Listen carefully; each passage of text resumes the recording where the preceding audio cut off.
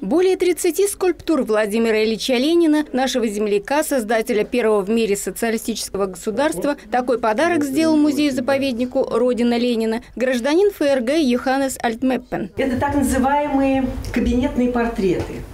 Предназначались ну, буквально для кабинетов руководителей, предприятий, организаций, учреждений – вот эти портреты, они не оригинальные произведения, они тиражированные. Этот жанр начался в 25 году, когда скульптор Харламов э, в производственной мастерской, э, тогда уже Ленинградской академии художеств, первый раз тиражировал в гипсе несколько бюстов Ленина.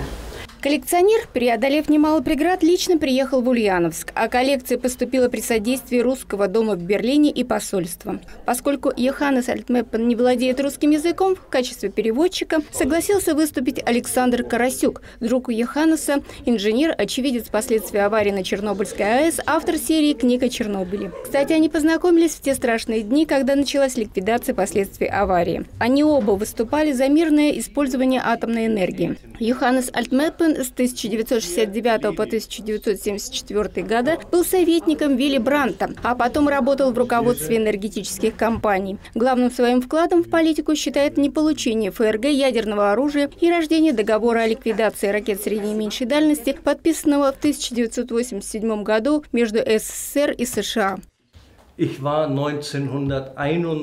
В 1991 году я первый раз приехал в Ленинград с гуманитарной помощью, с продуктами питания, и тогда приобрел первый бюст маленького Ленина. С этого началась моя коллекция.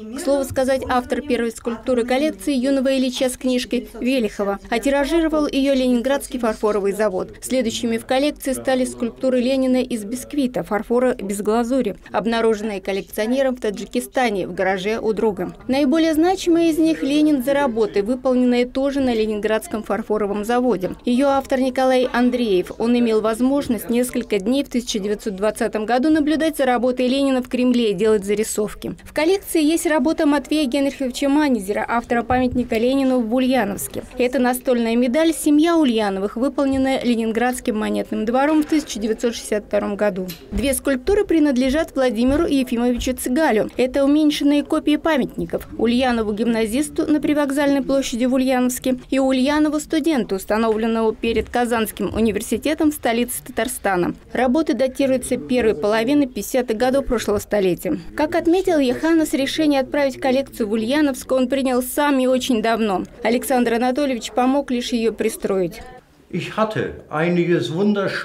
Я просто сумасшедший человек. Когда появились первые бюсты, я стал посещать все блошиные рынки в Берлине, в Москве, в Ленинграде, в других немецких городах. И если видел скульптурку Ленина, то покупал. Уникальной коллекции можно было полюбоваться всего один день. В дальнейшем она будет находиться в фондах. Вновь ее выставят лишь в конце декабря, как украшение выставки, посвященной столетию образования СССР. Ирина Антонова, Геннадий Бухтаяров, Улправда ТВ.